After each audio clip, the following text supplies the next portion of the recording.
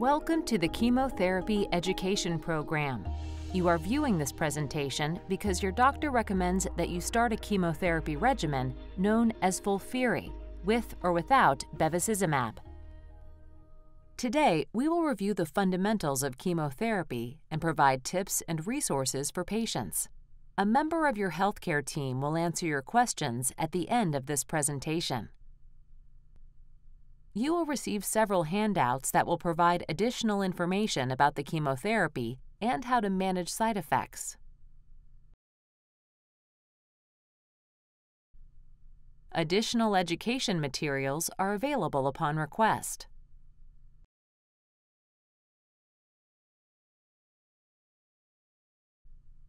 We will first discuss what medicines are included in your chemotherapy.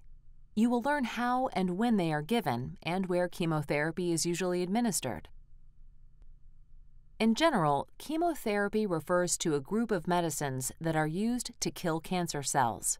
Chemotherapy can be used in combinations and may be combined with other medicines known as targeted therapies to kill cancer cells in different ways. Your chemotherapy, FOLFIRI, consists of two medicines. One is called fluorouracil, or 5FU, and the other is called irinotecan. Your doctor may have mentioned giving you an additional drug called bevacizumab, or Avastin. We will discuss this targeted therapy at the end of the presentation. Sometimes you may see an additional medicine called leucovorin added to your treatment.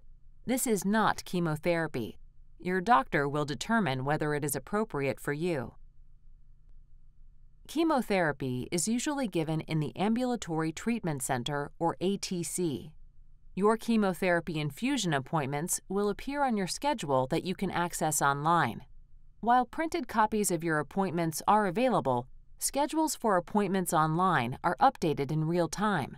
For more information about the location and process of receiving treatment in the ATC, ask your healthcare team or ask for the handout entitled Welcome to the Ambulatory Treatment Center. Your chemotherapy will be given into a vein.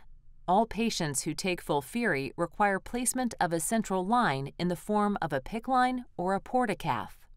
Chemotherapy and all other IV medicines will be administered through the same IV line.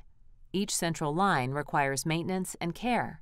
Talk to your doctor if you have questions about specific IV lines.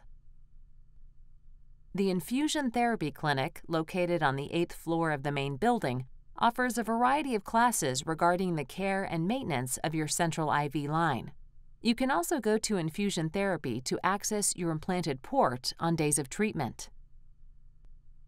Your chemotherapy is given once every two weeks. This two week period is called a cycle. The first part of your treatment will be given in the ATC. This includes IV medicines to prevent nausea and vomiting and the first chemotherapy medicine, irinotecan. This will take approximately 3 to 4 hours. Once this is completed, the nurse will attach a pump containing fluorouracil to your central IV line. This pump continuously infuses chemotherapy over approximately two days in the convenience of a home setting. On the third day, you will return to the ATC to disconnect the pump. You will see your doctor before beginning each new cycle of chemotherapy. However, this may vary for each patient. Blood work is required before starting each new cycle. If you are scheduled to see your doctor the same day as beginning your treatment, you will see your doctor first. Contact the clinic immediately if you are feeling unwell. Do not wait until your next appointment. Your healthcare team will give you the Gastrointestinal Oncology Department contact sheet. This sheet includes the phone number for the GI clinic. We hope that this presentation has helped prepare you for chemotherapy. If you have questions, please ask a member of your healthcare team.